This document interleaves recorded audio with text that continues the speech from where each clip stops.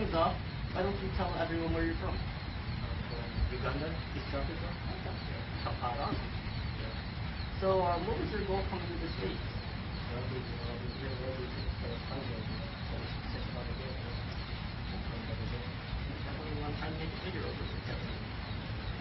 So, um, did you play rugby in Uganda? Yeah, since I was five years, so have rugby. Played like for four teams. So being here is just, just trying to get by, you know.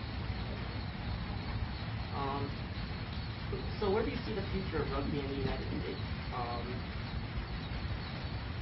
I think it's pretty much growing, you know, like rugby league right now, this season is really you know, like as our team, it, you know, we with this team.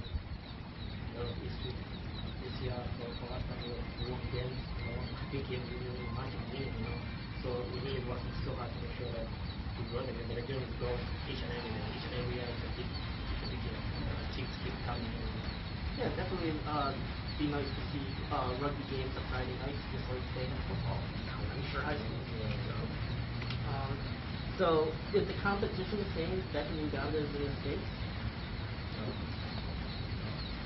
so like I said, we've been playing since we were kids, know, like anybody plays rugby, people rugby, so it's a big thing of fun to watch it. People, you know, play, you know, like you know.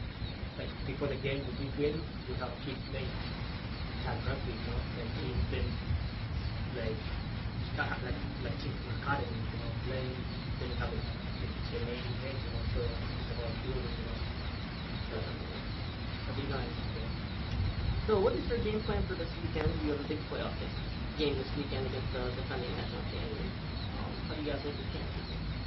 I think we have a good chance this year. Like this year, we'll have a good year. I think anybody can do whatever. We feel like we just can't to, to, to challenge the guys. We just can't to put our boats on line and uh, show what we're gonna say. So like right now, it's, it's, it's about us. You know, it's about us putting everything just one game to the final. But yeah, I think you guys.